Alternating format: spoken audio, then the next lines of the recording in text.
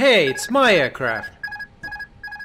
Hey friends, let's fly here today. This is RKPK, Busan, South Korea. Medium-sized regional airport with two runways 36 left and right and 18 left and right. Landing north is pretty easy. You come off of the ocean side, just gotta be careful with go-arounds. Landing south on the other hand is a little tricky because there's no straight-in procedure. You have to circle to land after flying the RNP approach. And that's what I'm gonna do today, and I'll stay away from those hills. This is where Air China 767 crashed back in 2002 after confusing terrain clearance rules used in South Korea. For more on that, please see in the description to this video. So you see that river in the hills behind it on the left? This is the valley where I'm going to circle after flying the charted approach. And I'll land on the same runway where my Hello Kitty Airbus A321 is sitting right now getting ready for takeoff. So this is how I'm going to fly it. I'm going to join this Gaia transition to the approach, fly over Gazelle, and then intercept the final approach course of 45 degrees at Nuri. Before reaching Zico, I'll be already with gear down and flaps 3 for better maneuvering capability. At Zico, I'll start my circle procedure. I'll first turn left onto downward track of 002 degrees and then visually follow the lead-in lights, you'll see them, while descending in the right turn. And I'll extend the full flaps just before joining the final runway track of 182. Piece of cake, actually.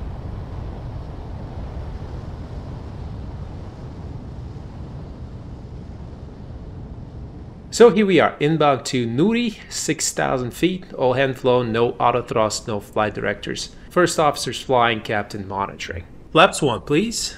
Speed check, flaps 1. Select speed 180. Here comes 180. Maximum speed at Nuri intersection is 210 knots. We are at 220 right now, slowing down and about to start our descent. Idle thrust, holding pitch just for a little bit longer to get below 215 knots, which is the maximum speed for flaps 2 extension. And flaps 2, speed check flaps 2. Still about 25 knots to lose to get to 180. I don't want to start the 90 degree turn before getting slow enough to keep the turn radius nice and tidy. So I'm holding off on pitching down more, helping with speed brakes.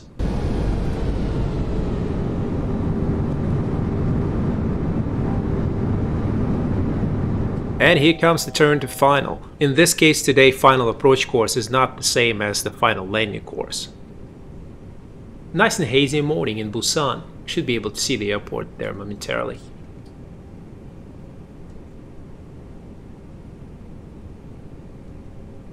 And there it is.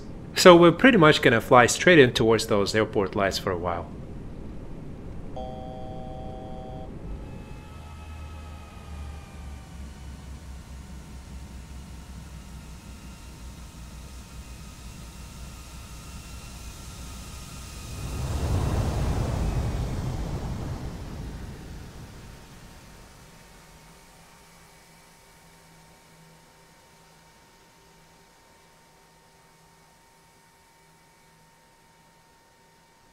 As I'm rolling out of the turn, I'm also intercepting the so-called green brick, the vertical path deviation indicator. I've been descending on idle thrust for a while now trying to intercept it from above.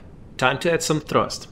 EVA Air A321s are equipped with CFM56 engines that use N1 as the primary thrust rating reference. N1 is the percentage of the maximum rotation speed of the fan in the front of the engine. It's at 52% now. The captain authority allows for some occasional sightseeing. It looks like I'll be crossing Weibi intersection above the minimum allowed altitude of 2,600 feet. By the way, the lowest altitude I could descend on this approach without seeing the airport environment is 1,750 feet. The chart says 1,700 feet even, but I've added another 50 feet as it would be required in real life. Now, today, such precision really doesn't matter as I've got visual meteorological conditions or VMC, but it is still customary in airline flying to always set a minimum descent altitude or a decision height for any approach. Coming up on Weibi intersection, after Weibi I'm gonna drop the gear and get some more flaps. Gear down. Upon lowering the landing gear, pilot monitoring also arms the ground spoilers, turns on the nose wheel lights, and advises the flight attendants. Select speed 160 please. Here it comes. And flaps 3. Speed check, flaps 3. In some airlines that operate the A320 family aircraft, there's a custom to not operate the landing gear and flaps at the same time. The idea is that it can overload the hydraulics. Other airlines don't care about that at all. I personally have never seen any guidance on the matter from Airbus. This could be one of those ancient practices that still lingers for some reason. As I mentioned before, I'm planning on circling with flaps 3. This is because during the circling maneuver I'll be flying with a speed of no slower than about 160 knots. This is for additional safety margins during banking, in case I inadvertently overbank. Now, circling at 160 knots makes this A321 a Category D aircraft as far as the maximum circling speed is concerned. Maximum circling speeds are established to provide safe margins from terrain. The faster you fly, the larger is the radius from the runway, and the closer you are to the terrain. So this chart here tells me that I must not exceed 165 knots during this maneuver. Of course, this mostly matters if you can't see the terrain. Today it's not really an issue, but I'll abide with the rule anyway. That's what professional flying is all about, complying with rules, even when they don't matter. Very well, so I'm crossing Zico, means I'm done with the published part of the approach, and now I'm turning onto the track of 002, which is the opposite track from the runway track. Now I'm going to ask the captain to activate and sequence my secondary flight plan. It has just the runway 18 right pre-programmed in it with no instrument procedure. I'll need it for the backup lateral and vertical reference, because primary reference is what I see outside. And speaking of that, there's my first lead-in light up ahead. These lights for sure make a circling approach much easier. And I'm sure those Air China pilots that flew into one of those hills here back in 2002 would love to have seen those lights. They probably didn't have them installed back then. Alright, coming up on the 1000 feet, I think I'm gonna go ahead and extend the flaps to full at this time actually. I'm afraid I'm gonna start getting too low flaps alerts pretty soon, and I don't want any part of that. Flaps full. Speed check flaps full. And give me manage speed, please. The captain now pushes the speed button to allow the display of the magenta speed target which means it's calculated by the flight management computer. But since the auto thrust is off, I'm going to manually maintain a speed of about 160 knots while turning, as I briefed earlier. I'll slow down to the managed target once I'm on final. And landing checklist please. Here comes, landing checklist. Cabin secured for landing. Auto thrust. Off. Go around altitude.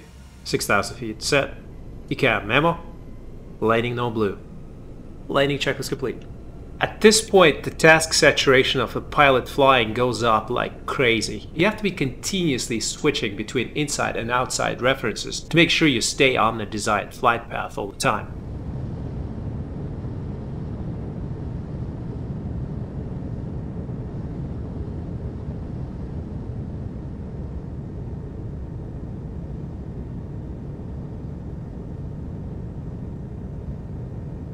When turning onto final, among other things, you gotta pay close attention to the wind. Today there's pretty much a headwind of 20 knots, which actually is the reason why I'm landing on this runway in the first place.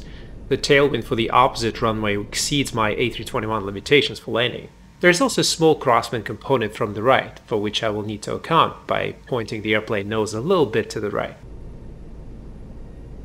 So I'm landing on the right runway, 18 right, just to clarify. See that first portion of the runway before the line of green lights that crosses it? That's a displaced threshold, I can't land on it. It's used for takeoffs only. It's just not strong enough to withstand the impact from countless bad landings.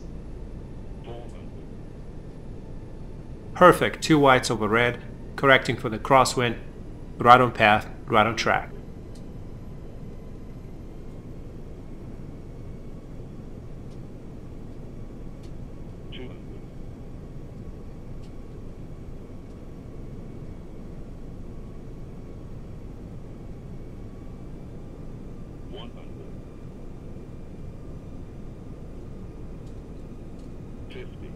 Cross the threshold just a touch above 50, not too bad. Thrust idle 20 feet, start looking at the end of the runway flare. And touchdown. Spoilers. Reverse green. Decel. When decel call is made, it means there's either a decel light illuminated on the auto brake panel, or there's a strong downward speed trend observed on the primary flight display.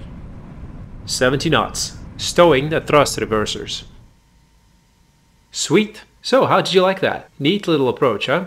So load it in your sim and put the ceiling visibility down to the minimums. I keep visual conditions just to make my videos look good, but it's even more fun when you can't see anything. Let me know how it goes down in the comments. Thanks for watching and please like and or subscribe as you do play.